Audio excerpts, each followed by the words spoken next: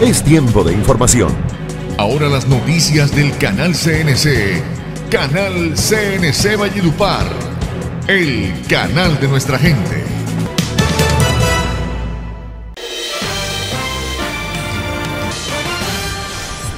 En el corregimiento de Santa Isabel, en la vía San Roque La Paz, ocurrió un accidente de bus el cual dejó tres muertos y 24 heridos. El vehículo que cubría la ruta Maicao-Bogotá con 39 pasajeros salió de la vía por causas aún investigadas.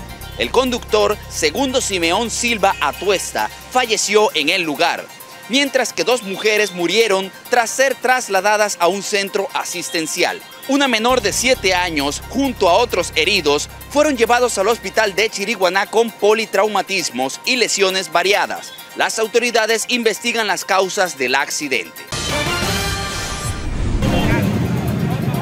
los 400.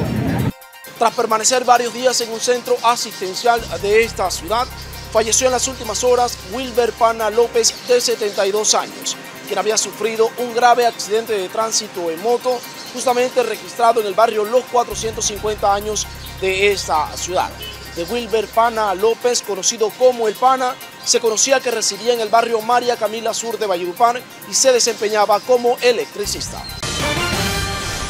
En un emotivo homenaje fue develada la escultura del reconocido compositor Gustavo Gutiérrez Cabello, conocido como el Flaco de Oro. Eh, una gran emoción, significa mucho para mí yo estoy acostumbrado a, homenajes, pero, pero este ha sido muy popular, muy sentido, muy lleno de folclore y de verdad sí estoy, estoy eh, decir, estoy muy agradecido.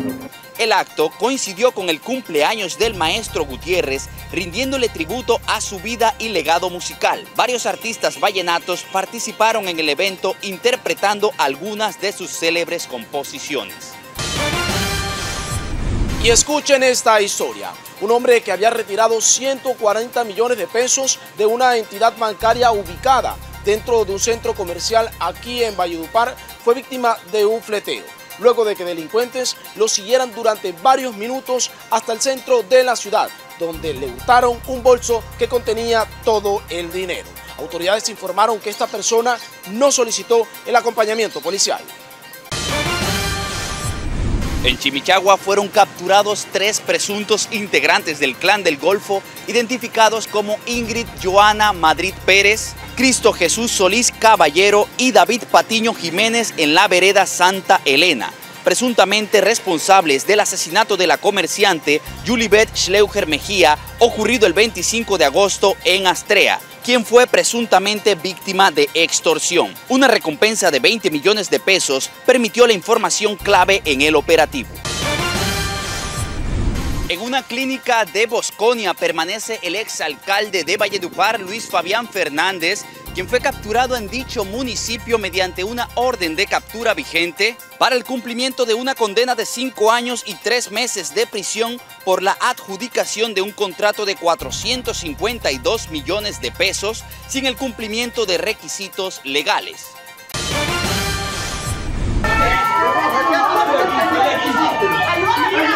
Un presunto abuso de autoridad por parte de la policía se registró en las últimas horas aquí en el barrio La Nevada de Valledupar. Todo inició después de que policiales iniciaran una persecución a un motociclista que llevaba como parrillero a un hombre, lo cual es totalmente prohibido aquí en la ciudad. Este motociclista lo que hizo fue huir y además resguardarse en una vivienda de un familiar en dicha localidad. Él logra cerrar la puerta y ellos gritan afuera que era, que era ratero yo vengo y le digo a él que porque tiene que huir si él no había hecho nada. Y él me dice que abra la puerta, pero que le diga que no le vayan a pegar, porque él no estaba haciendo nada. Yo le digo que tranquilo, me paro y le digo a ellos que por favor que yo les voy a abrir la puerta, pero no quiero que ingresen a la casa porque había dos niños adentro y me podían mirar las cosas del apartamento. El policía que está en la puerta, él cede y se quita, pero viene llegando otra patrulla que es el que patea la puerta. Yo estoy quitando la el seguro de la puerta cuando él viene y patea la puerta. Que donde yo no me quito, él me, me hace un daño con la puerta más, más grande. Él viene con el arma en la mano y me pega en la cara. Alianza FC cayó ante el Deportivo Pereira 1 por 0 en un partido aplazado de la Liga Betplay 2024 número 2, disputa que se dio en el estadio Hernán Ramírez Villegas. fue un buen primer tiempo, un buen primer tiempo donde el equipo eh, inició generando situaciones para, concretar, eh, pero hemos sido muy benévolos, perdonamos demasiado y y eso, no, eso nos, nos cuesta. Aunque el conjunto visitante tuvo vocación ofensiva, el equipo Matecaña se quedó con los tres puntos. El próximo 15 de septiembre en el centro comercial Guatapurí Plaza se llevará a cabo el lanzamiento del Festival Agrícola y Minero número 41 de la Jagua de Ibirico haciendo reconocimiento al rector Eber Ruiz. Este evento, que resalta las tradiciones agrícolas y mineras de la región, reconocerá la trayectoria del rector como una figura destacada en el desarrollo de estas actividades. Yo soy oriundo del corregimiento de La Palmita, del municipio de Las Aguas, y desde luego a uno le reconforta eh, que los paisanos le, den ese, ese estímulo, porque es un estímulo porque aún nos queda un largo camino por recoger en el sector educativo y estoy altamente agradecido y estaré el día domingo allá acompañándole eh, a la Junta Directiva, a los organizadores, al señor alcalde, a la gestora del municipio. Desde la capital mundial del vallenato, Valledupar, Canal CNC presenta CNC Noticias.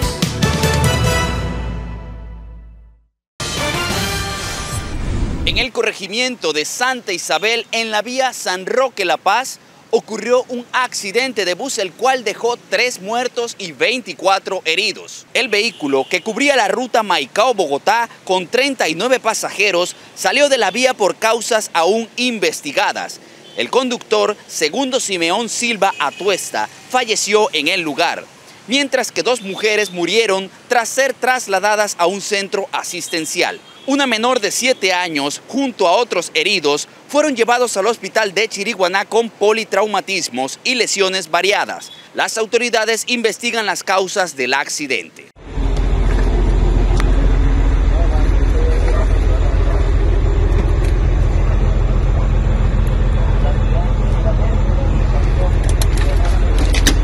Un aparatoso accidente de tránsito se registró en la vía San Roque, La Paz, a la altura del corregimiento de Santa Isabel, zona rural del municipio de Chiriguaná, Cesar. Un bus interdepartamental de la empresa Copetran cayó a un barranco dejando el saldo de tres personas muertas y 24 heridas, la mayoría de origen venezolano. El bus, de placas NTN 669, número interno 12300, cubría la ruta Maicao-Bogotá. Transportaba 39 pasajeros y era conducido por segundo Simeón Silva Atuesta, quien falleció en el lugar de los hechos. Otras dos mujeres, de quienes hasta ahora se desconoce la identidad y se transportaban como pasajeras, también perdieron la vida cuando eran atendidas en un centro asistencial. De acuerdo a versiones preliminares, presuntamente el conductor perdió el control y se salió de la calzada, generándose el fatal accidente. Autoridades de tránsito investigan para esclarecer las causas de este lamentable hecho. Los heridos. Entre las personas heridas se encuentran Mayerlis del Carmen Zuleta, quien presenta herida abierta en el rostro lado derecho. Joseanis Vallecillos, nacionalidad venezolana, de 29 años, sufrió politraumatismos y hematomas en cabeza y brazos. Juan Carlos Yunis Castellanos, con politraumatismos y hematomas en piernas brazos. Víctor Alfonso Penagos Rodríguez, oriundo de Cundinamarca, presenta hematomas en pecho y dislocación de hombro. Caterín Castillo, de 27 años, presenta dislocación de hombro derecho y hematomas en piernas y cabeza. José Leonicio Ojeda, de 42 años, sufrió dislocación de hombro derecho. David Ipuana, de 30 años, presenta hematomas en cabeza y pierna derecha. Y Verónica José Medina Núñez, de 7 años, nacionalidad venezolana, presenta en diferentes partes del cuerpo. Según reporte de las entidades hospitalarias, también resultaron heridos. Mileidis Velada Ortega, 20 años. Lucía Mercedes Bracho Martínez, Jaquelique Landaeta, Joseani Valencillos, 29 años, Elizabeth Consuelo, Ani Sofía Petit, un año, Ricardo José Castillo, Nayeli Carolina Castillo Romero, 23 años, Jorgelis del Valle Núñez Núñez, José Luis Jiménez Mavares, Jesús Daniel Jiménez y Juan Carlos Tubo Castellanos, todos de nacionalidad venezolana. También se reportan como lesionados el niño Miguel Ángel Triana, de un año, Bertida González, Fabiola Uriana, oriunda de La Guajira, y Rubén Darío Hernández, de 25 años, natural del municipio de Valledupar, Cesar. Todos fueron trasladados a los hospitales de Chiriguaná y Curumaní. Sergio Gil, gerente del Hospital San Andrés, del municipio de Chiriguaná manifestó que uno de los heridos fue ingresado a la unidad de cuidados intensivos con trauma de tórax y el resto están en condiciones estables, según el último reporte médico. Agregó que una de las víctimas mortales, una mujer de 71 años, ingresó al centro de salud en condiciones críticas, falleciendo a los pocos minutos por la gravedad de las heridas. Y escuchen esta historia. Un hombre que había retirado 140 millones de pesos de una entidad bancaria ubicada dentro de un centro comercial aquí en Valledupar fue víctima de un fleteo. Luego de que delincuentes lo siguieran durante varios minutos hasta el centro de la ciudad, donde le hurtaron un bolso que contenía todo el dinero. Autoridades informaron que esta persona no solicitó el acompañamiento policial. Un hombre fue víctima de un millonario fleteo en el corazón del centro de Valledupar, en la carrera 10 con 16, a pocos metros de una entidad bancaria. Según las primeras versiones, el afectado transportaba 140 millones de pesos en un maletín y tras bajarse de un taxi acompañado de un amigo, fue interceptado por varios delincuentes que se movilizaban en motocicleta. Los sujetos, al parecer armados, actuaron con rapidez y precisión, despojando al hombre del dinero en cuestión de minutos antes de huir del lugar. La víctima, quien no resultó herida físicamente, quedó en estado de shock ante la magnitud del robo. Inmediatamente después del incidente, la SIJIN de la policía inició labores de inteligencia y se desplazó al lugar de los hechos para recopilar información. Uno de los principales pasos en la investigación es la revisión de los videos de las cámaras de seguridad instaladas en la zona, las cuales podrían ser claves para identificar a los responsables y determinar su ruta de escape.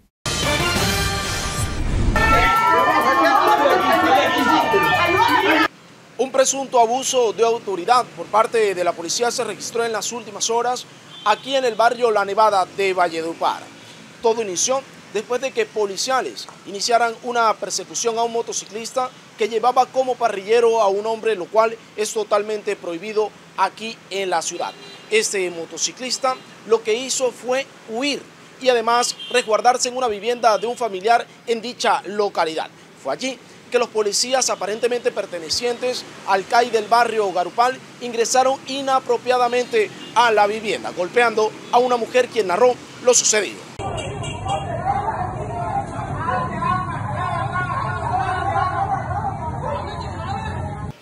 Los hechos fueron que yo estaba en mi casa durmiendo el día 3 de septiembre y venía la policía persiguiendo a mi primo por un comparendo. Ellos, él logra cerrar la puerta y ellos gritan afuera que era, que era ratero.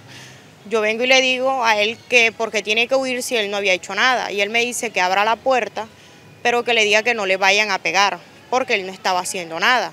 Yo le digo que tranquilo, me paro y le digo a ellos que por favor que yo les voy a abrir la puerta, pero no quiero que ingresen a la casa porque había dos niños adentro y me podían mirar las cosas del apartamento. El policía que está en la puerta, él cede y se quita, pero viene llegando otra patrulla que es el que patea la puerta. Yo estoy quitando el seguro de la puerta cuando él viene y patea la puerta. Donde yo no me quito, él me, me hace un daño con la puerta más, más grande. Él viene con el arma en la mano y me pega en la cara. Entonces Ahí es donde me hace la herida esta y gracias a lo que él me hizo, me hicieron una cirugía plástica.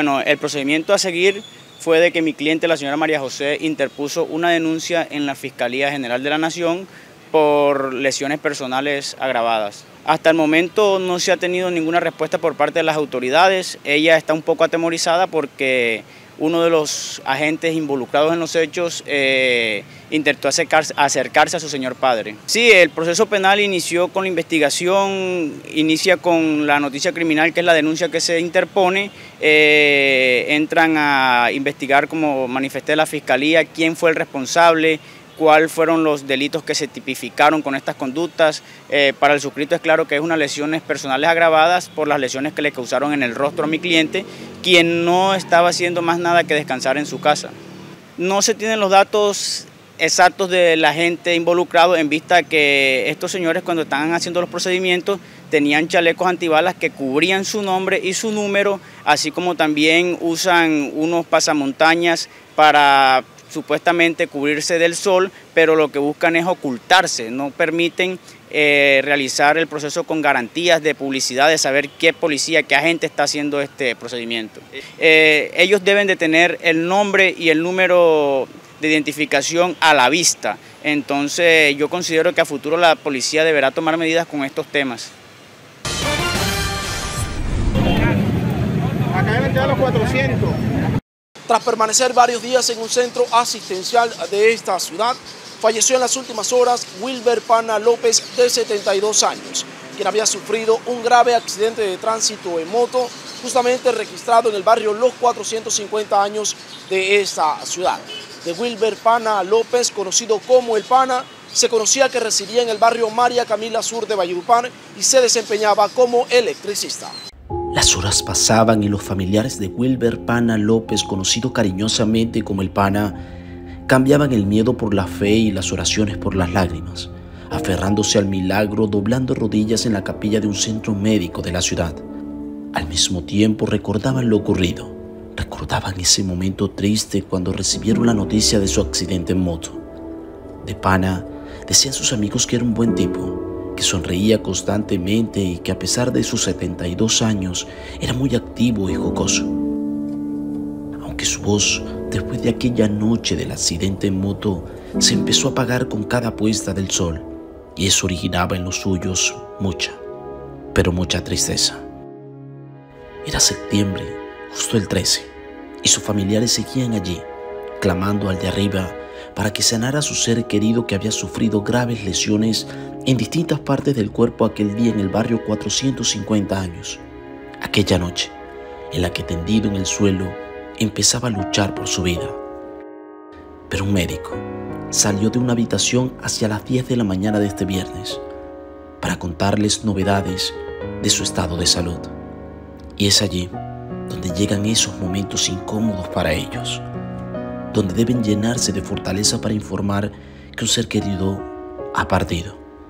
Y ese, lamentablemente, fue el caso del panita, que ahora ya no estaba entre nosotros. Está claro que a pesar de que un día la vida termina, nunca estaremos preparados para perder a alguien. Y desde allí, solo queda llevarlos en el corazón donde quiera que estemos, o cada vez que miremos al cielo desde donde arriba cuida los suyos.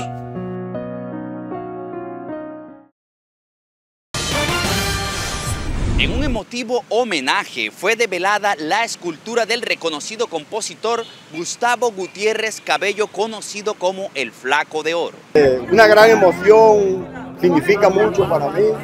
Yo estoy acostumbrado a, homenajes, pero, pero este ha sido muy popular, muy, sentido, muy lleno de folclore y de verdad sí estoy, estoy eh, decir, estoy muy agradecido. El acto coincidió con el cumpleaños del maestro Gutiérrez, rindiéndole tributo a su vida y legado musical. Varios artistas vallenatos participaron en el evento interpretando algunas de sus célebres composiciones. Con lágrimas de emoción recibió el maestro Gustavo Gutiérrez Cabello el homenaje durante la develación de la escultura de cera, que en su honor hará parte del Salón de la Fama del Centro Cultural de la Música Vallenata, que se construye en esta capital. El reconocimiento a su vida y obra musical se realizó en la plazoleta María Concepción Loperena, en Valle Dupar, ante más de 3.000 asistentes, que desde temprano se concentraron para presenciar el acto al que se sumaron los artistas Peter Manjarres, Ana del Castillo, Chabuco y Rafael Santos Díaz, al interpretar los éxitos del maestro en esta fecha, en la que además celebró su cumpleaños 85. Eh, una gran emoción, significa mucho para mí. Yo estoy acostumbrado a, homenajes, pero, pero este ha sido muy popular, muy, sentido, muy lleno de folclore. Y de verdad sí estoy, estoy eh, decir, estoy muy agradecido. No encuentro palabras para explicar este momento. Maestro, más que merecido este homenaje con su trayectoria musical. Usted que un hombre romántico, ¿cómo describiría este momento de su vida? Bueno, ya en el ocaso de mi vida me trae recuerdos de, mi juventud y, me da fortaleza para seguir viviendo lo que me falta por vivir. ¿Se parece o no se parece, maestro? ¿Ah? ¿Se parece o no se parece? No, demasiado, yo me asusté. Con palabras sentidas, el maestro Gustavo Gutiérrez Cabello agradeció el homenaje que le rindió la gobernación y manifestó su impresión al ver la escultura por su parecido. En el momento justo de la develación, el compositor de Confidencia estaba cantando algunos de sus éxitos en la parte baja de la tarima, quedando sorprendido cuando vio su figura en cera. Durante la velada, en las voces de Peter Manjarres, Ana del Castillo, Chabuco y Rafael Santos, los asistentes escucharon canciones impregnadas de poesía, de la autoría de Gustavo Gutiérrez, como Calma mi melancolía, Recuérdame, Parrandas inolvidables, Así fue mi querer, Te quiero porque te quiero, Sin medir distancias, Camino largo, Si te vas te olvido. Y en la parte final, el propio homenajeado deleitó al público con algunas de sus canciones como Confidencia y Paisaje de Sol. Estás viendo Canal. El canal de nuestra gente. La Universidad Popular del Cesar, rumbo a la acreditación institucional. Tenemos los programas acreditados exigidos y también contamos con las condiciones institucionales aprobadas por el Ministerio de Educación. ¡Vamos rumbo a la acreditación institucional! La acreditación institucional es compromiso de todos. En 1968 nos embarcamos en un viaje a la compensación familiar de la clase trabajadora del Cesar y hoy Después de 56 años, nos fortalecemos como una Confacesar que genera impacto social sostenible con unos resultados de oportunidades en el 2023. Pese a la coyuntura económica, el año pasado vimos reflejado un crecimiento en la afiliación, alcanzando 9.419 empresas afiliadas que confiaron en nosotros para que sus aportes por 151.292 millones de pesos se transformaran en servicios de bienestar para las familias de 130.574 trabajadores, impactando además el desarrollo social y económico de la región. ¿Necesitas seguridad preventiva vehicular y cuentas con poco presupuesto? En Centro Multiservicios GPS Alarma CJ tiene para ti la forma más fácil y económica de lograrlo. Paga el monitoreo de seis meses y el GPS te lo prestamos en comodato, instalado y con garantía. Me acaban de robar el vehículo de placa APL 31E. Señor Mesa, ¿se encuentra usted bien? Sí, sí. ¿Qué modalidad fue el robo? A mano armada. Nuestro personal de búsqueda y recuperación en compañía con el cuadrante van hacia la ubicación que arroja el GPS. Por favor, diríjase a un CAI de la policía más cercano. Esté seguro y espere nuestro llamado. No esperes a que te lo cuenten. Rueda Seguro 4G por todo el territorio nacional 24-7. Contáctanos a la diagonal 18 de número 2050 Valledupar o nuestra cuenta Instagram arroba GPS o nuestra página web www.gpsalarmaclj.com. Nuestra prioridad es tu seguridad y la de tu vehículo. En el grupo empresarial Carpio conformado por Carpio Firma de Abogados y Carpio Bienes Raíces, contamos con un equipo capacitado para brindar los más eficientes servicios de asesorías, consultoría, interventoría en el área legal, así como el área de la administración de inmuebles.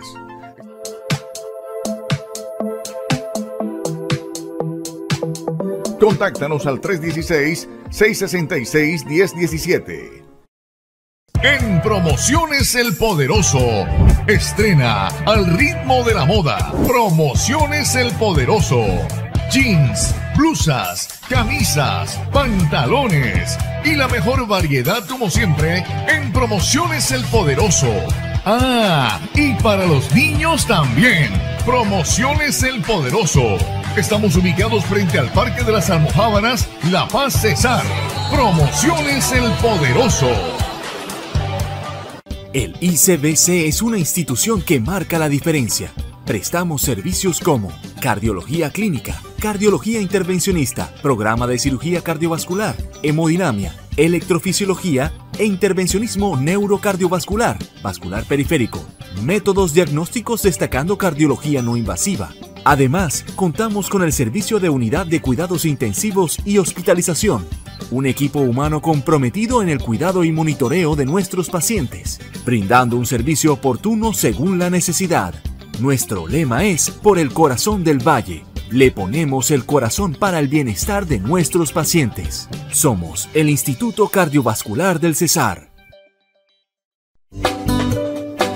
Ricardo Rojas Osorio, especialista en diseño y confección de moda masculina a la medida. Brindamos asesoría de imagen completa y además presta los servicios de entalle y arreglos de toda clase de prendas de vestir. Aparta tu cita al 318-401-0676 o visítalos en la carrera cuarta, número 13A bis 07. Ricardo Rojas Osorio, te llevamos a vivir la experiencia del buen vestir. En el corazón de Valledupar, donde la tradición y la modernidad se encuentran, hay un lugar que va mucho más allá de tus expectativas. En Mayales Plaza Comercial, la experiencia de compra cobra vida. Ven y encuéntralo todo en un solo lugar. Porque aquí valoramos tu fidelidad y queremos que cada momento sea especial para ti. Estás viendo Canal. El canal de nuestra gente.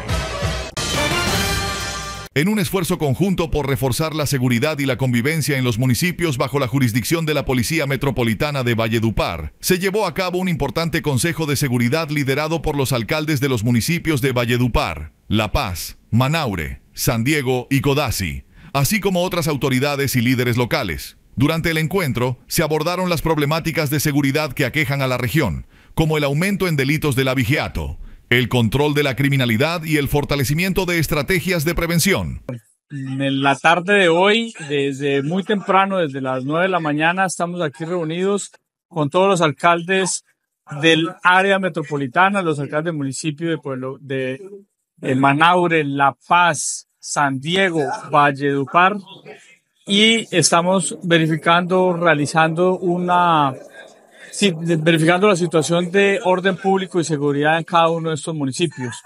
Varias conclusiones importantes de mantener las caravanas de seguridad, una estrategia conjunta para atacar el delito de abigeato y carneo, por supuesto un compromiso de todos los alcaldes de mejorar las condiciones de tecnología en los circuitos cerrados de televisión, las cámaras, incluir elementos de inteligencia artificial, la Secretaría de Gobierno Departamental también eh, se compromete con la adquisición de tecnología específica para combatir el delito con drones.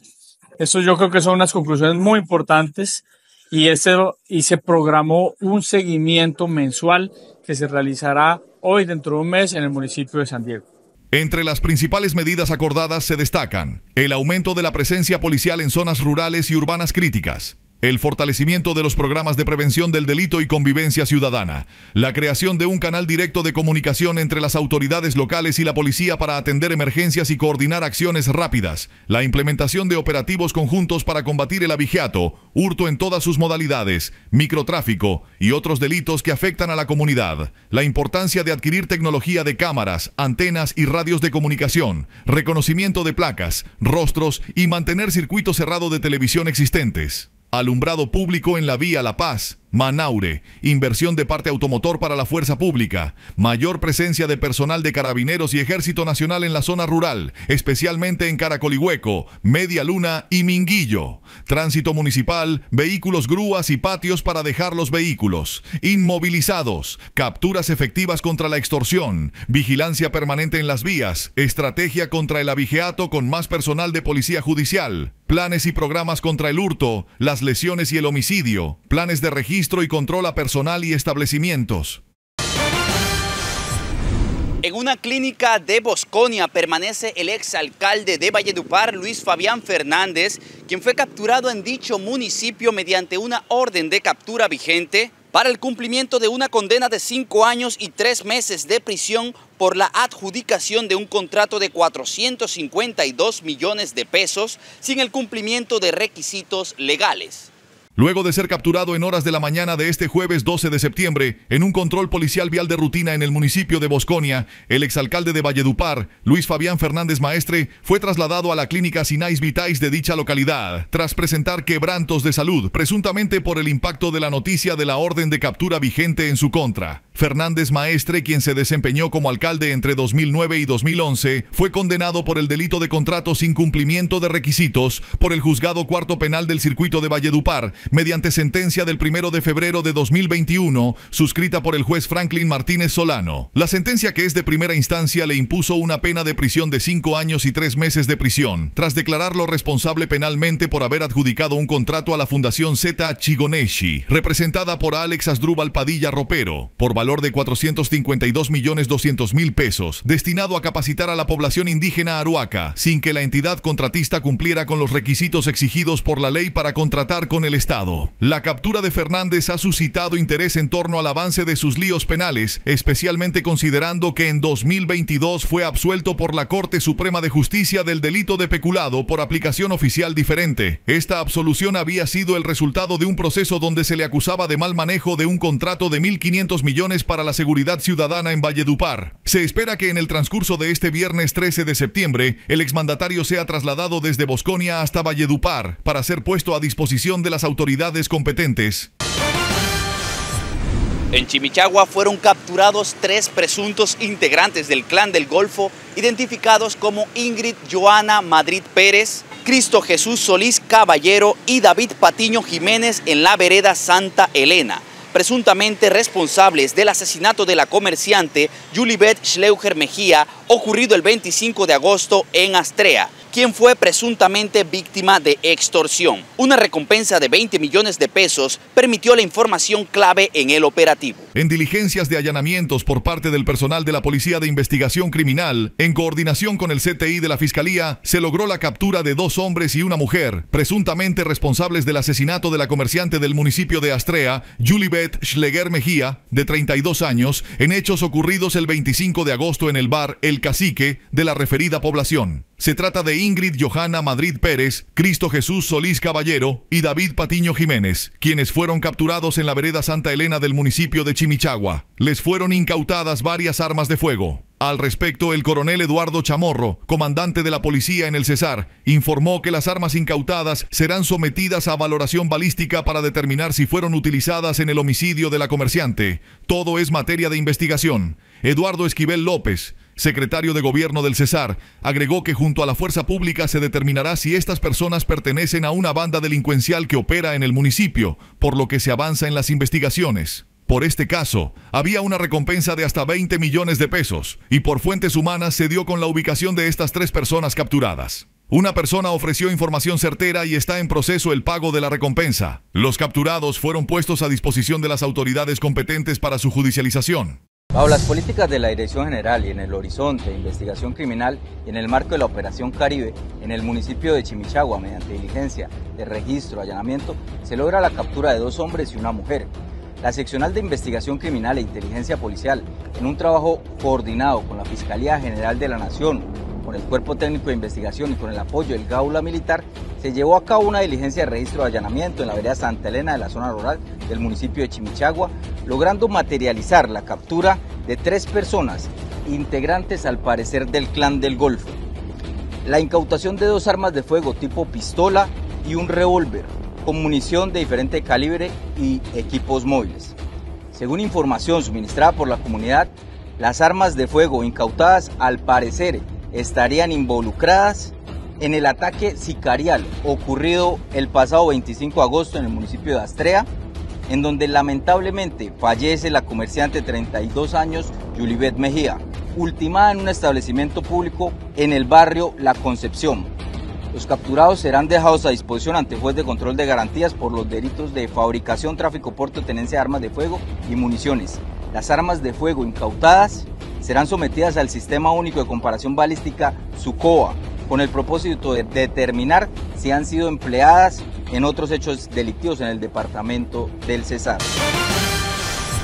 El próximo 15 de septiembre en el centro comercial Guatapurí Plaza se llevará a cabo el lanzamiento del Festival Agrícola y Minero número 41 de la Jagua de Ibirico, haciendo reconocimiento al rector Eber Ruiz. Este evento, que resalta las tradiciones agrícolas y mineras de la región, reconocerá la trayectoria del rector como una figura destacada en el desarrollo de estas actividades. Lo recibo con todo el cariño, con toda la alegría, porque es un reconocimiento de mis paisanos, eh, yo soy oriundo del corregimiento de La Palmita, del municipio de Las Aguas, y desde luego a uno le reconforta eh, que los paisanos le, den ese, ese estímulo, porque es un estímulo, porque aún nos queda un largo camino por recoger en el sector educativo, y estoy altamente agradecido y estaré el día domingo allá acompañándole eh, a la Junta Directiva, a los organizadores, al señor alcalde,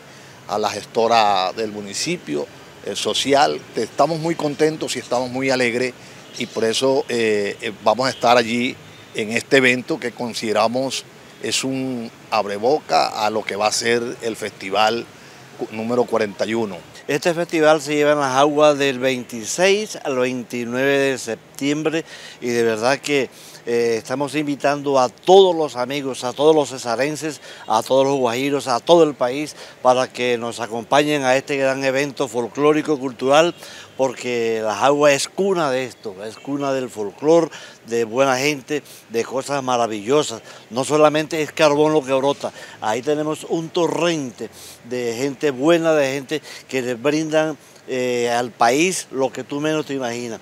Hoy, por ejemplo, estamos en esto, eh, doy gracias al alcalde, gracias a la colonia Jahuela, residente acá en Valledupar, porque aprovecho de una vez para invitarlos para invitar a todos los abuelos y amigos eh, residentes acá en Valledupar para que nos acompañen este domingo a las 5 de la tarde en las instalaciones del Centro Comercial eh, Plaza a este gran lanzamiento.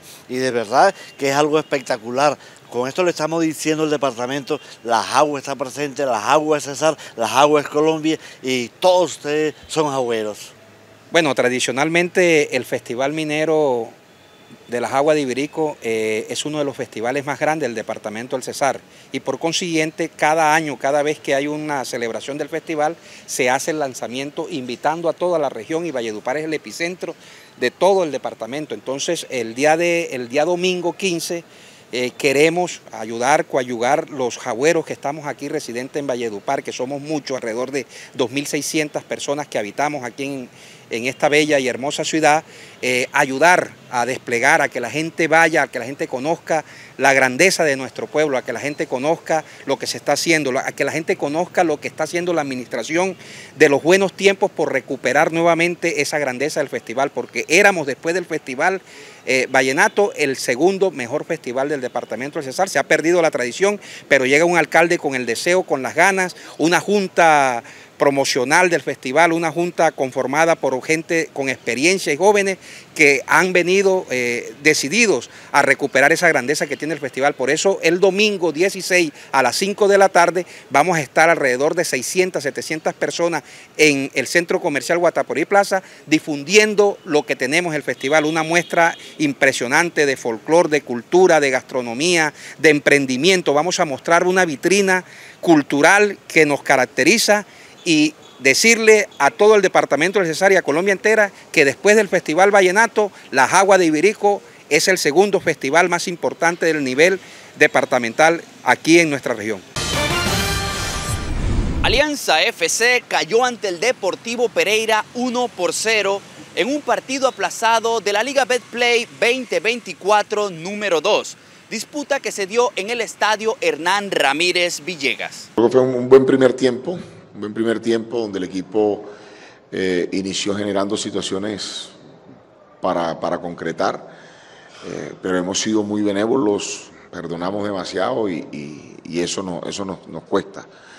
Eh, recibimos el gol, nosotros ya en el segundo tiempo buscamos tener un poco más de creación, de, de, creación en la mitad de la cancha, pero no la tuvimos. Ya Pereira copa los espacios en la mitad, se llena más de volantes y nosotros no tuvimos, en todo el segundo tiempo no tuvimos claridad para llegar al arco rival. Eso no, no, no nos permitió pues, hacer daño y, irnos hoy con un resultado como que ya todos sabemos. Aunque el conjunto visitante tuvo vocación ofensiva, el equipo Matecaña se quedó con los tres puntos.